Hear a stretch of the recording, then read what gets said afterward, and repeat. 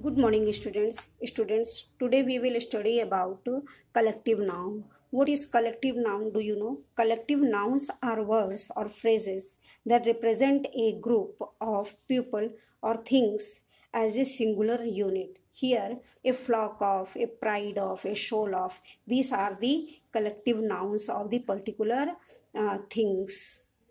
So, words are given here and collective nouns are given here you have to write for which this collective noun is used like a flock of sheep.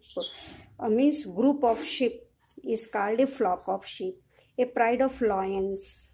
Uh, for the group of lions is collective noun is used a pride of a shoal of dolphins a swarm of bees a herd of cows an army of soldiers and a school of fish a bouquet of flowers, a pack of wolves, a wardrobe of clothes.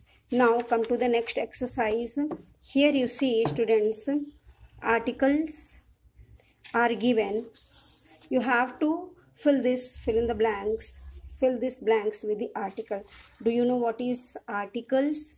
Uh, a and the is the article and a and is the indefinite articles and the is the definite articles. So you have to use these articles in the blanks. Now see i am reading.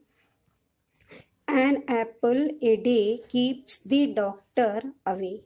Keeps the doctor away. Number 2 the train is an hour late. An old man is walking on the road. The sun is rising.